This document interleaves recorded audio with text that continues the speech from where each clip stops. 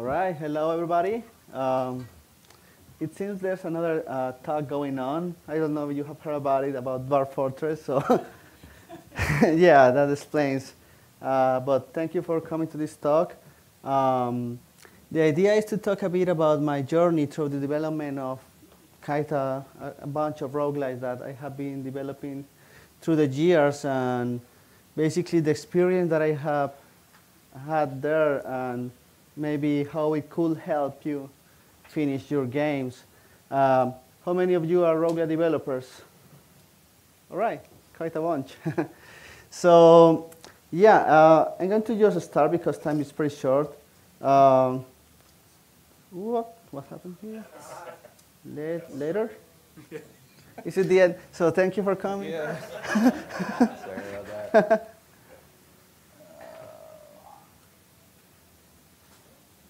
Okay.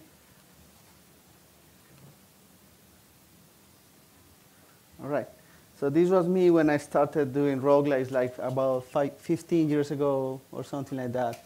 Um, I still don't have like a big roguelike, like, right? Like a famous roguelike that thousands of people are playing, but so what I want to share is this experience that I have had and how it could help you probably. Um, so yeah, you can find all my games at slashie.net. There's a huge list there that I have put. And so I started around 2003, 2004, when I went to the college. So by that time, I got, I, I, I was able to play ADOM, right? And it really inspired me into doing roguelikes. And at first, I tried to do like uh, replicate what ADOM is, and especially Jade, which was the project that Thomas Biskup had by, by that time. Uh, so I wanted to create like a very complex simulator of the medieval fantasy, right? So like a complete world that you could play on. And that's what I went in uh, for at first, right? And it was, um, I did not have the experience to carry that, but I jumped straight into it. Uh, by then, we had the Usenet uh, Roguelike development channel. It was like the primary communication channel that we had. And I was not alone. There was a lot of people that was trying to do just that, right? Like to recreate like the very complex simulation of a world. But we're, we, we were not really thinking on doing a game, right? We were thinking on doing like a sandbox where you could like play and then the game will rise. So I played, uh, I mean, I, I worked uh, a long time on that, like trying to get that done um, until I got to the seven day roguelike challenge, which was like a turning point for me. That was around uh, 2005. Um, so in this talk, I want to talk about all the different seven day roguelikes that I have done, right? And how each one of these uh, kind of taught me something that I could use in, in the next one and finally in my current project, which is Ananias, and, and how it may help to you too for this. All right, so the first one I made was Castlevania Roguelike. I actually um, developed it further after the seven-day roguelike challenge. And so I had been working already for like two years on the other one and still didn't manage to produce anything. So I jumped into the challenge thinking that it was like a waste of time because seven days is very little time. So, but in the end, I managed to ship a game. Well, it was a game. It was playable. It was not very fun. It was not very complete. Uh, but I managed to like say, hey, this is my game. I finally made a game, and I think this is that's a very important step, like being able to ship something, because else you just keep working and working on on demos or or technical stuff, and never get feedback from from anyone. So. Um, Another thing that I, that I, learned for this one is uh, that I could focus in a single uh, feature that was fun. And for example, this one didn't even have procedural generation. So it was like uh, more of an, well, it had ASCII art, so that looked a bit like a roguelike, but it didn't have a lot of other factors. Mm. But still, it's like an initial step. So I think it, that's a good uh, thing that you can do is uh, like have a work incrementally, right? Like having a first iteration of your game and then continue developing on it. Um, next year, I did Drash Roguelike, which is uh, based on the and very old Ultima game, which is called Escape from Mount Drash. the first thing I did there is that I reutilized the code from Castlevania, and this time I did include procedural generation. So uh, it was like a more, more close to what a roguelike really is. Another thing that I did for this one is I, this, I established some design guidelines from the beginning, so I knew what I wanted, right? So I had a plan instead of just trying to do uh, and see what, what can come up. I, I knew from the beginning that I didn't want to have experience points, didn't have to be grinding or, or doing that stuff, and that the, everything was going to be like uh, without commands, without menus, without anything like that. So that also helps a bit. And actually for this one, I had a completely different plan by, by the beginning of the, of the challenge. Uh, I wanted to create like a simulator of an ant colony so you could like be an ant fighter and defend the colony from invaders or something like that. And in the end, well, I did some research on the different types of ants and it, I mean, I could not find like a way to make it like a, into a funny mechanic, right? So I changed what I was planning to do and ended up with like just a survival arena. Um, it worked much better. So this, this one was actually very fun to play. Uh, unlike Castlevania Roguelike, which was not very good. then the same year, I created another one, which is, was called Metroid Roguelike. And this one, I think what I did was, again, reutilizing the code, but I really uh, invested a lot of time in the world generation.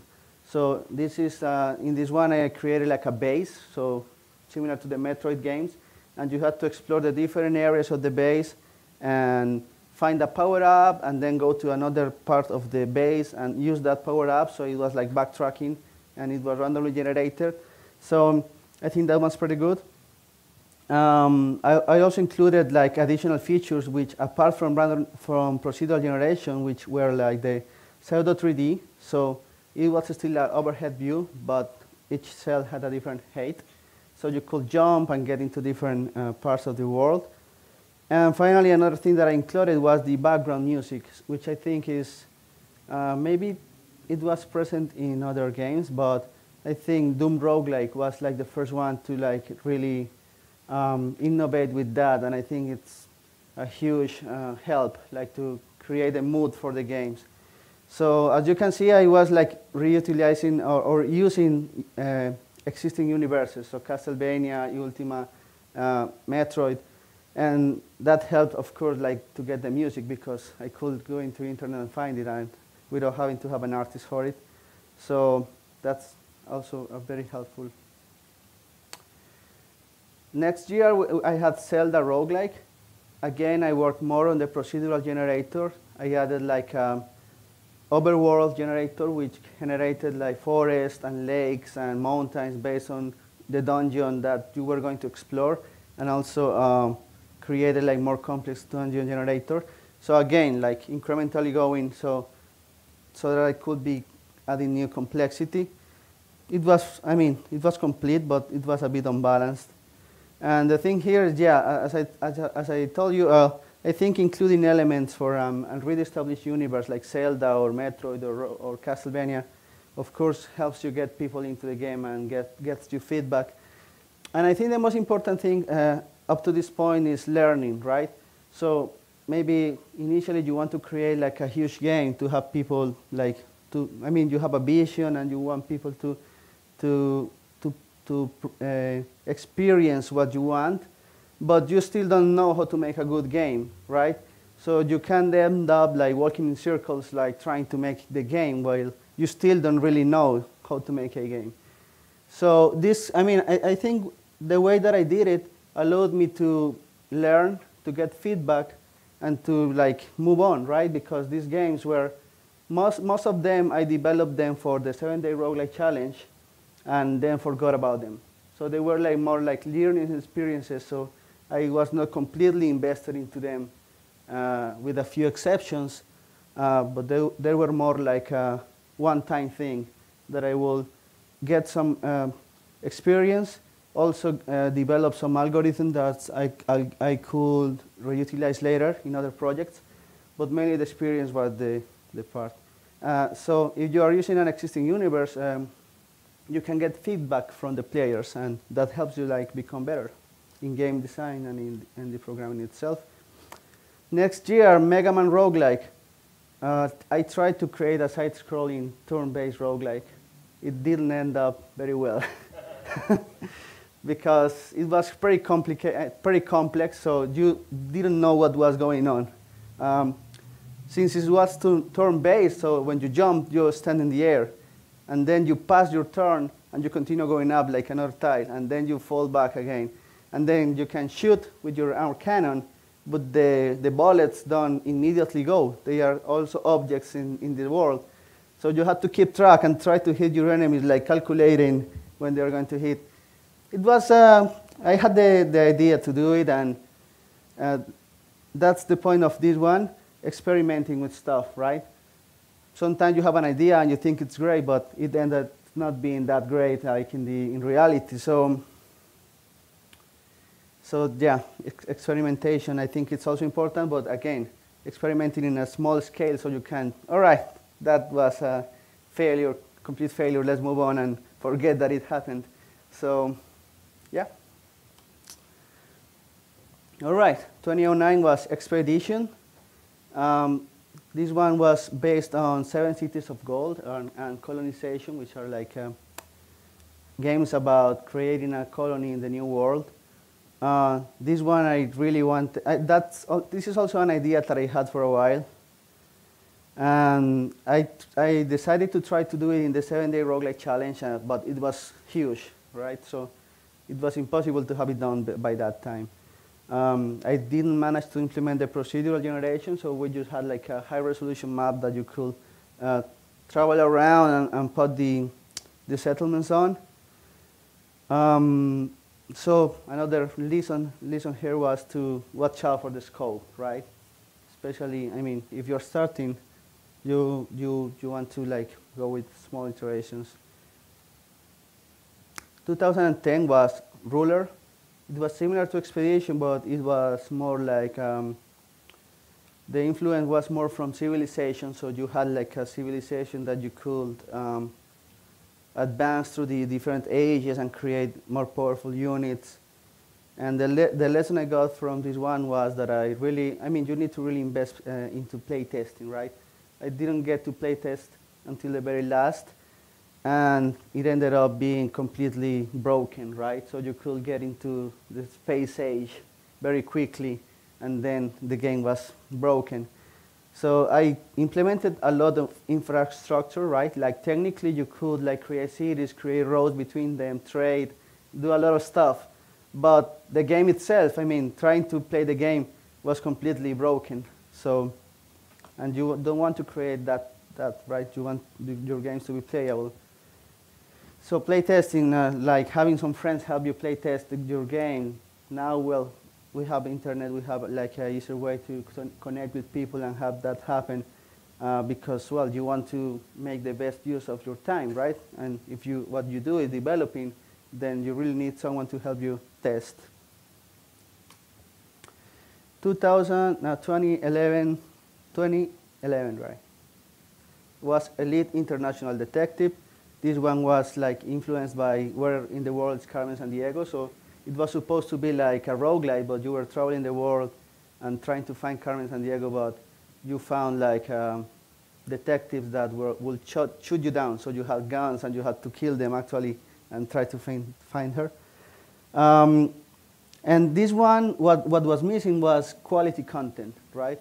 So all the, all the engine was there, uh, I managed to test it, right? Uh, it worked, it was, it was stable, but I didn't have in mind the quantity of content that was required to make this interesting. So, for example, in this one, well, I needed like a database of cities and countries and uh, like features from this country so that it would be interesting, like trying to find the clues to get to the next country. And I didn't have that. Even though I had someone uh, try to help me, so it, it didn't happen. So in the end, the experience that people had was not very good. 2012 was Hope. I tried, as you can see, all of the all of the the previous one were console mode, right? So only characters. So for the first time, I tried doing, doing graphics, but I didn't have, I, I am not a pixel artist, and I did not have uh, like a good pixel artist. Um, so yeah, you need to have like someone skilled because else it didn't have pretty well. Uh, it was not very aesthetically pleasing, right? And if you're going for graphics, you need it to be pleasing. I think so, because if you're doing just uh, like a console mode, well, we know that what kind of players will, will play, right? And they, they, they have the imagination to think what's going on and to fill the gaps. But if you are going for graphics, you are targeting a much larger audience. And they have different expectations, so they expect to be more clear what's going on. Uh, so there's no, I mean, going for a middle ground is not going to be please anyone. So yeah. All right, so up to this time I had, I had used Java. And I have not had like a lot of exposure because it was hard for people to run the games. So in 2013, I got, uh, I started doing JavaScript games. This one was the first. Name was Rodney. So the lesson here was like, yeah, I had to close that cycle because really, I mean, I had learned a lot and everything I learned was very useful for me for my uh, professional life, right, everything. But really that wasn't working for games. So I closed that cycle and decided to change things. And actually in Rodney, the, the bosses of the dungeon are Glenn, Ken, and also Michael, who is not here. So if you can go all the way down to the dungeon, you, can, you have to kill them to win. So good luck. uh, other thing that I included in this one was a single action button. So there, there are no commands. You just move around and use a single action button. And it's all based on the skills. So for example, moving around, you trigger the skills. If you have the wall jump skill, you just run into a wall and then it gets triggered when you actually run into it yeah, so that was, that was also uh, an important thing there, the recapitulation, simplification. So I just went through like all my previous games or game uh, efforts and, and tried to see, okay, so let's see what's good in this. And let's try to get some features from there that, that work, simplify them and bring them into something new. So that's what I did. Another important point here is accessibility again, the, my previous games were not very accessible. And I think that's a goal that I put myself, like made my following games accessible. 2014 was Ananias, the seven-day roguelike version. It was made for touch devices. Um, yeah, it was like my first mobile game. Um, and it was also the first time that I decided to use a library instead of like trying to do some, everything from scratch. So I think the lesson for this one was like creating a, an experience target to a specific platform, right? Basically, I, I did it because there were no good mobile games, mobile roguelikes. Uh, I don't know if, if any of you has a, developed a mobile roguelike, but it's very different than, than doing a, a roguelike for desktop, right? So the ports we had for roguelikes um, were very difficult to play because you had a lot of commands. It was not made for that. I'm going to just move this here. So yeah, I found that there, that was like something that needed to be done better and went for it. 2015, Stygian Abyss. So first time I teamed with someone to, to do the seven-day roguelike challenge. He basically did uh, all the 3D display code. It was a 3D dungeon crawler. Um, and I did the, the dungeon generation, which was based on Ultima Underworld. So it generates levels like similar to Ultima Underworld. Uh, we had a hard time getting the graphics. So you can get an artist on board, you, you will be in much better shape. And I really had a lot of fun doing the procedural generator. So I think one thing here is like focusing on what you can really uh, provide the most value, right? So teaming up with someone, with someone, getting an artist, having someone working the display code, have, you can work in a different component of the game. Uh, it, it, ended up pretty, pretty well, but um, again, it was not very fun. it was fancy because I mean I don't know if any of you has played Ultima Underworld. So yeah, uh, that game was like very important for me, and it creates levels like Ultima Underworld, but yeah, so they are empty because you don't have a plot, and what you have to do in the game is like explore these huge levels and try to find a, a single tile, which is the stairway to the next level, and you can easily get lost. So I also stuck to. Um, I had like this idea that getting lost is good, right? And that players should not complain about it, but rather try not to. So, for example, people um, suggested that I add in an, an auto map, right? And I say no, I don't want to. I will not do that because that will break what I want, my, like my vision for the game. But it made the game like unplayable, right? Because yeah, no one will like wander around for two hours in a single level looking for a tile, right? Like a small tile, and also the dungeon is dark. So, so yeah, you, you gotta listen sometimes to, to, people if you want to make a game that someone else will play. I mean, I, I play it and I, uh, I have the patience to go through, but most people won't, won't do that. And finally, this year I made this one. It's made for smartwatches, so um, yeah, exploring new medias and new technologies. I was thinking on either doing that or virtual reality, but I didn't know, didn't have like the technological stack to do the VR. So it's a simple game that you can play in your smartwatch. It's like a very simplified uh, version of the roguelike formula.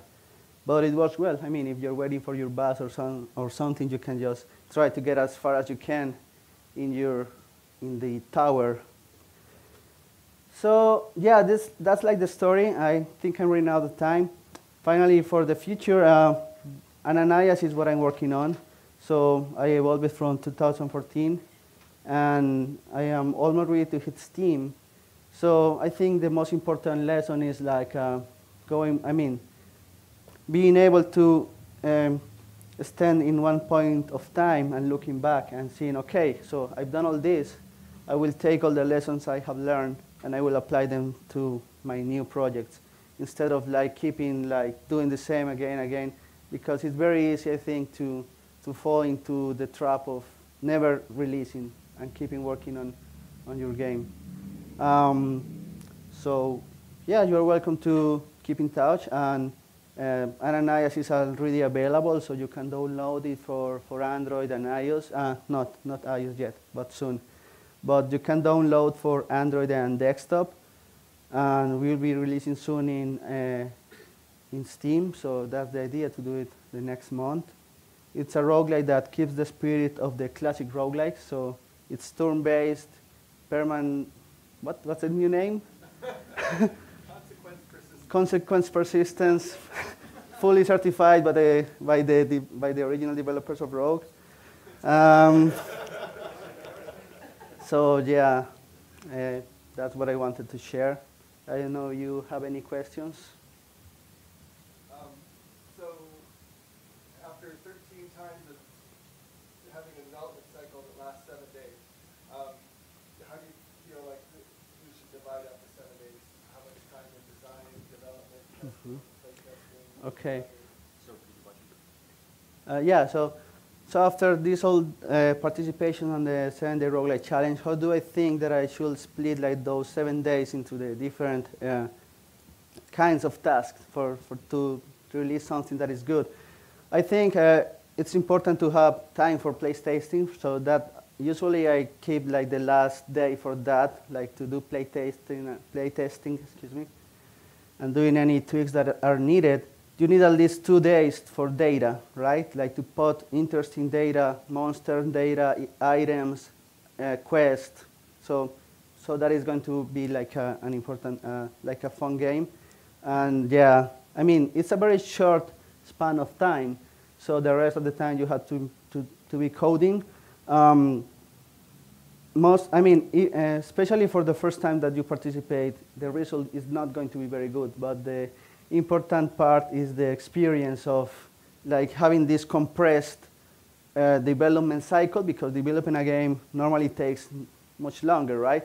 But you are compressing everything into seven days so you can uh, have the experience of having developed a, a whole game, forgetting that, moving, moving on to the next.